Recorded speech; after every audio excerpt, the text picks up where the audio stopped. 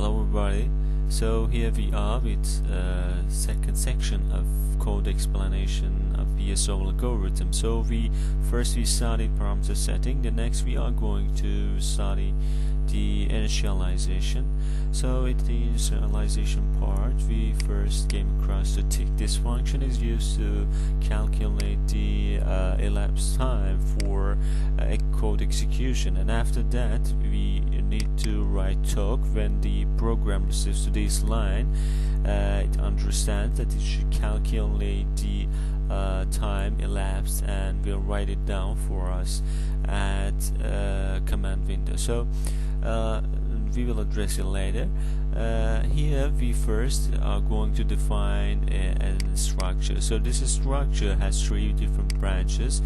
Uh, the first branch is the pose, which can, which must contain in the future the um, the uh, position of our particles the next is going to be cost and then after that we are going to define velocity. So each each particle in our algorithm must has different positions different costs and different velocities.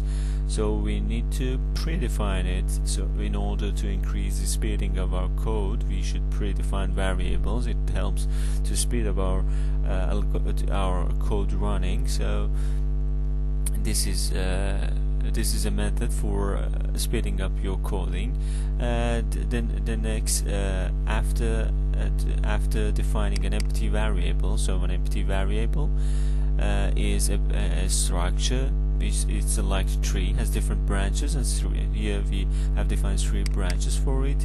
Uh, each uh, at first step it's they are empty. So each particle has has to have these um, these elements. So we are going to use repmat uh, function which is uh, defined in MATLAB uh, to repeat this matrix uh, for to the number of uh, particles we have. Uh, the first step in particle swarm optimization is going to randomly initialize our variable. So the random initialization happens here in this loop uh, from uh, i is from 1 to the number of particles. The next we are going to devote uh, each particle a random number between lower bound and upper bound so it's going to obtain a position.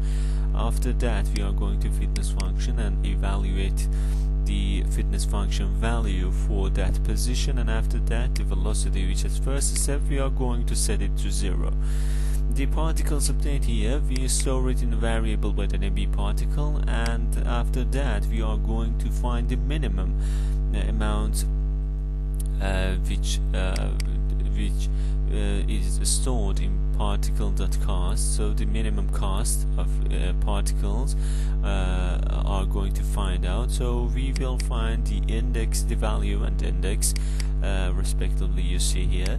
Uh, so uh, the index is going to be used to uh, find out the particle's position and velocity.